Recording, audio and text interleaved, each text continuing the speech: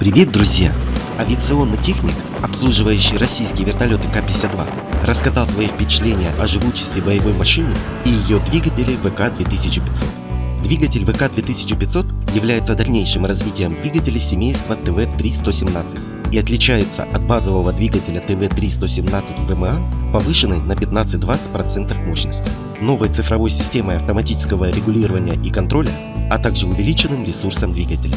Благодаря улучшенным характеристикам двигателя ВК-2500 высота полета вертолета возросла на 30%, скороподъемность на 50%, грузоподъемность увеличилась на 2000 кг.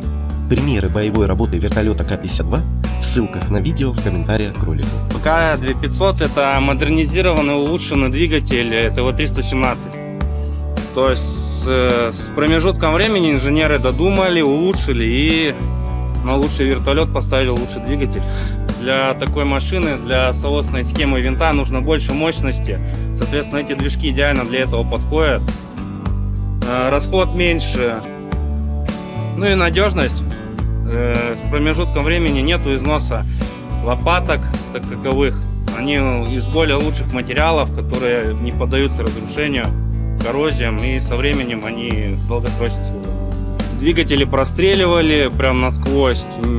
Двигатель работал штатно, никаких перебоев не было, выдавал ту же мощность, все шло штатно и отлично.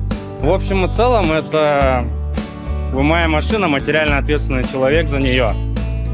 Это как э, мое домашнее животное, можно сказать. Я его ухаживаю за ним, топливом кормлю, умываю и тому подобное. Целиком полностью наша машина. Полюби вертолет, и он полюбит тебя, и он не будет отказывать. То есть у каждого вертолета у летчиков есть э, некоторая, так сказать, вера такая, что каждый вертолет с душой. Как ты к нему подойдешь, он может тебя не принять.